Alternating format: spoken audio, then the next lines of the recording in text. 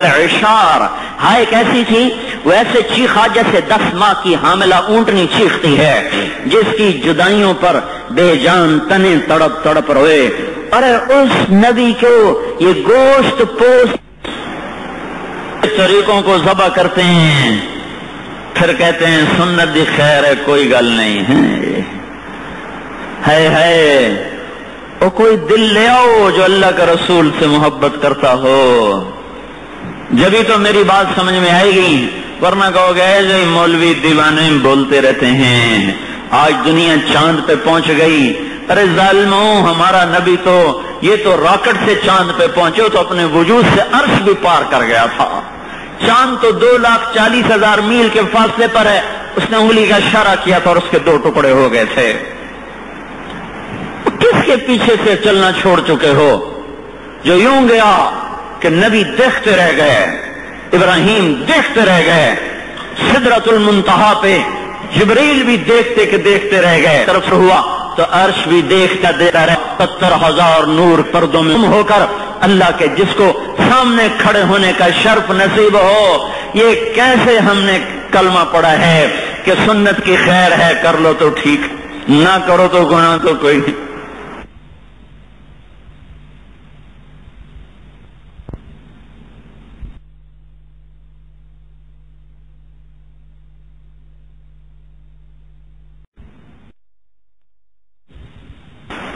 کسی سیاستدان سے پوچھو ایک ووٹ کی کیا قیمت ہے؟ یہ تاجروں سے پوچھو ایک روپے کی کیا قیمت ہے؟ کسی طالب علم سے پوچھو ایک نمبر کی کیا قیمت ہے؟ ایک نمبر کم پڑے تو پاس فیل ہو جاتے ہیں۔ ایک ووٹ کم پڑے جیتے بازی ہار جاتے ہیں۔ تو تم اس نبی کی سنت کو زورزانہ ذبح کرتے ہو۔ جو تمہارے لیے روتا روتا زخمی ہو گیا۔ اتنا رویا کہ اللہ نے کہا، اتنا تو نہ رویا کر۔ اتنا تو نہ رویا کر کے تو خود ہی ہلاک ہو جائے۔ اور آج وہ پیغام دے رہا ہے۔ صرف صحابہ کو نہیں پیغام دے رہا۔ جو کہہ رہا ہے کہ میرے بعد جو میری امت آئے، انہیں بھی کہنا کہ تمہارا نبی تمہیں سلام پیش کر گیا تھا۔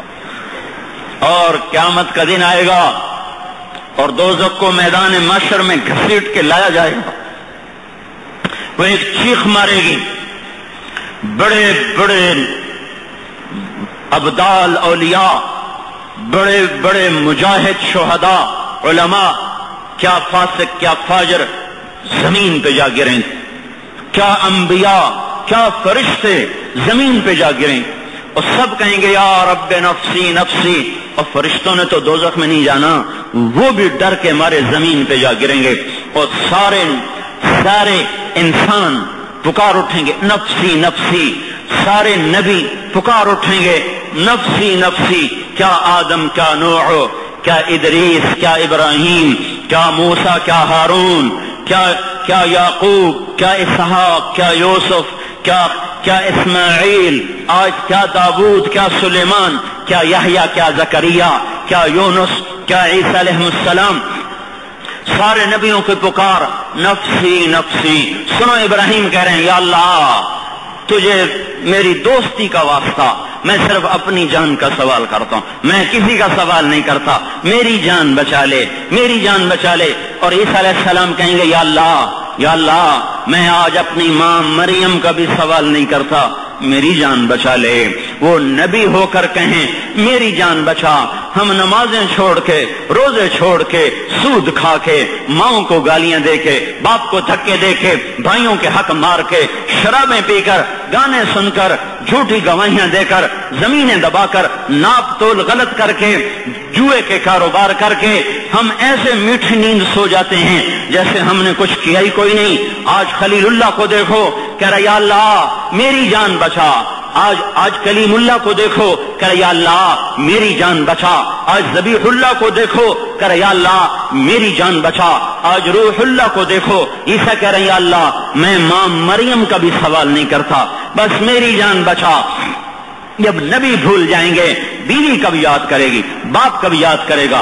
ہم ان کب بیویوں کو یاد کریں گے؟ اولادیں کب یاد کریں گی؟ بھائی کب یاد کریں گے؟ لیکن ادھر دیکھو اس معاشر کے میدان میں، اس میدان حشر میں ایک ہستی ہے، جس کا جس کا نوحہ سب سے جدا ہے، جس کی فریاد سب سے نرالی ہے، جس کا رونا سب سے انوکھا ہے، جس کی دعا سب سے مختلف ہے، اس کی جھولی پھیلی ہے، ہاتھ عرش کو اٹھوئے وہ نفسی نفسی نہیں کہہ رہا، وہ کہہ رہا، یا رب امتی امتی، یا اللہ میری امت کو یا اللہ میری امت کو واہ۔ ایسا علی شان نبی پا کر پھر امت اس کے سنتوں پہ چھریاں چلائے، پھر اس کی سنتوں کو ذبح کرے۔ جیسے میرا نبی یتیم پیدا ہوا تھا،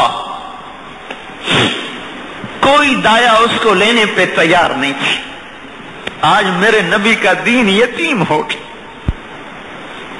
نوجوان لینے کو تیار نہیں، انہیں ناچ گانے سے عشق ہو چکا ہے۔ تاجر لینے کو تیار نہیں، وہ کہتا میرے نفے گھٹ جائیں گے، میرے کاروبار ٹوٹ جائیں گے۔ زمیندار لینے کو تیار نہیں کہتے ہماری کھیتیاں جڑ جائیں گی۔ سیاستدان لینے کو تیار نہیں کہتے ہماری سیاست چلی جائے گی۔ حکمران لینے کو تیار نہیں۔ عدالت کا قاضی لینے کو تیار نہیں، چیمبر کا وکیل لینے کو تیار نہیں۔ میں ان کو کیا رہوں یہ باہر ریڑیوں پہ بیٹھ کر کیلے بیچنے والے، آم بیچنے والے، غریب، مزدور، یہ بھی آج اللہ کے نبی کے طریقوں کو لینے پر تیار نہیں ہیں۔ جیسے میرے نبی کو ہر دایا چھوڑ کے چلی جاتی تھی، آج میرے نبی کا دین یتیم ہو گیا ہے۔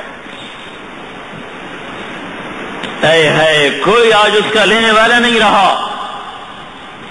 نفس کے غلام، چیزوں کے غلام، چوپڑی روٹی کے غلام، چٹخارے اور لذت کے غلام، کپڑے کے غلام، روٹی کے غلام، مکانوں کے غلام، نوکریوں کے غلام۔ اور میرے بھائی وہ تو تمہیں حشر میں بھی نہیں بھولا۔ کہ ریا اللہ امتی، امت۔ ایک اور واقعہ سنوں دنیا سے جانے کے بعد بھی اس کا نظام کیسا چل رہا ہے؟ ابن کثیر رحمت اللہ علیہ، امام نبوی رحمت اللہ نے اس واقعے کو نقل کیا۔ آتبی رحمت اللہ علیہ حضور کی قبر پر بیٹھے ہوئے پڑھ رہے تھے۔ ایک بدو آیا۔ دیہاتی، کہنے گا السلام علیکم یا رسول اللہ پھر کہنے گا یا رسول اللہ، آپ کے رب کا فرمان سنے ہیں۔ وَلَوْ أَنَّهُمْ اِذْ ظَلَمُوا أَنفُسَهُمْ جَاءُوكَ فَاسْتَغْفَرُ اللَّهُ وَاسْتَغْفَرَ لَهُمُ الرَّسُولُ لَوَجَدُ اللَّهَ تَوَّابًا رَحِيمًا. آپ کا رب کہہ رہا ہے، اگر آپ کی امت اپنے نفسوں پہ ظلم کر کے گناہوں کے بوجھ اٹھا کر آپ کے دربار میں آ جائیں اور یہ اللہ سے معافی مانگیں اور آپ بھی ان کے لیے اللہ سے معافی مانگیں تو میں ان کو معاف کر دوں گا۔ پھر کہنے لگا، یا رسول اللہ جے تو کا، مستغفرم بے ذنوبی مستشن بے کا الا ربی۔ یا رسول اللہ میں آپ کے پاس آیا ہوں۔ اپنے گناہوں کا اقرار کر کے اور آپ کو اللہ کے دربار میں وسیلہ بنا کے۔ اپنے اللہ، آپ کے اللہ سے میں یہ مانگتا ہوں کہ آپ کے شفاعت سے میرا اللہ مجھے معاف کر دے۔ پھر اس نے چار شیر کہے۔ دو شیر آج بھی روزہ مبارک پر لکھے ہوئے ہیں۔ آج بھی جب سلام کرنے کے لیے کھڑے ہوتے ہیں تو دو سفید ستون جو دائیں بائیں ہیں جالی کے اس پر وہ دو شیر آج بھی لکھے ہوئے ہیں۔ دو اور ہیں جو کتاب میں ہیں۔ پھر اس نے شیر پڑے کیا کہا؟ یا خیر من دفنت فی البقاء اعظمه فطاب من طیبہن القاء والاکم اے وہ ذات جو اس جو اس زمین میں جا کے چھپ کر کے سو گیا، جس کی برکت سے زمین کا اندر بھی بابرکت ہو گیا، باہر بھی بابرکت ہو گیا اندر بھی خوشبوئیں پھیل گئیں، وادیاں، پہاڑ بھی خوشبودار ہو گئے۔ نفس الفدا لقبر انت ساکنہ میں قربان جاؤں اس قبر پر جس میں آپ آرام کر رہے ہیں۔ فیہ العفاف وفیہ الجود والکرم۔ صرف آپ ہی اس قبر میں نہیں سو رہے، بلکہ آپ کے ساتھ آپ کی سخاوت بھی، آپ کا معاف کرنا بھی، آپ کا درگزر کرنا بھی، آپ کی مہربانیاں بھی، آپ کی عطائیں بھی، آپ کے